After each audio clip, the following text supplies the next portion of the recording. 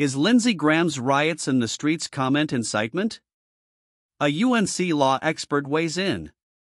Lindsey Graham, a Republican senator from South Carolina, warned during an appearance on Fox News that there will be riots in the streets if former President Donald Trump is prosecuted by federal officials. Graham's comments are in reference to the Federal Bureau of Investigation's search of Trump's Mar a Lago property on August 8, where classified documents were obtained as part of an investigation into mishandled information and obstruction of justice, CNBC reported. The Justice Department released a redacted affidavit from the early August search of Trump's home, which revealed Trump had in his possession 184 different documents marked as classified, with 67 of them categorized as confidential, 92 of them categorized as secret, and 25 of them categorized as top secret. In response to the raid, Senator Graham told Fox News that the public will riot if President Trump is prosecuted.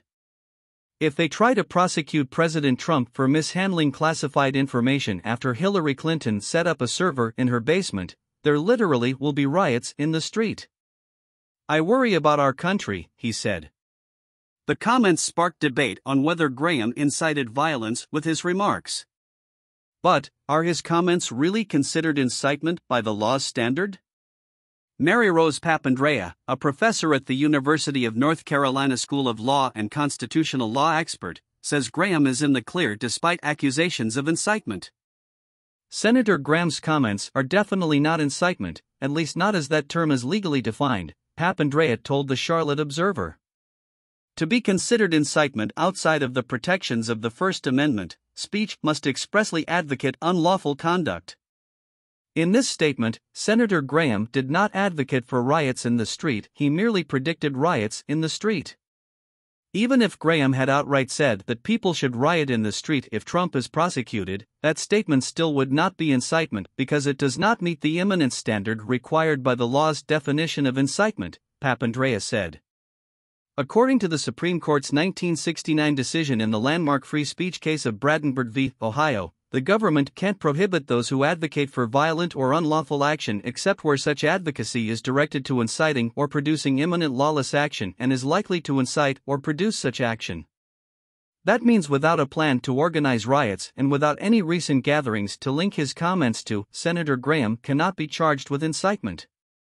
According to North Carolina law, a gathering must meet the following standards to be considered a riot. Be an assembly of three or more people disorderly and violent conduct takes place. There is an imminent threat of disorderly and violent conduct. The event results in injury or damage to property. There is a clear and present danger of injury or damage to property. The same statute also makes clear that someone cannot be charged with incitement to riot unless a riot occurs or there is a clear and present danger of a riot, Papandrea said. This is not to say that it was wise for a prominent U.S. Senator to suggest that there would be riots if Trump is indicted, she added. White House Press Secretary Karine Jean Pierre told reporters on Monday that Graham's comment falls into the category of what President Biden referred to as semi fascism last week. We have seen MAGA Republicans attack our democracy, she said. We have seen MAGA Republicans take away our rights. Make threats of violence, including this weekend, and that is what the president was referring to when you all asked me last week about the semi fascism comment, Jean Pierre said. In remarks delivered in Charleston on Monday, Senator Graham further elaborated on the comments he made on Fox News, claiming that he was not calling for riots, but rather predicting that frustration from the public could turn into violence. America cannot live with this kind of double standard.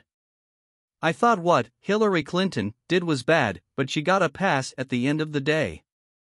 Senator Graham said. I reject violence. I'm not calling for violence.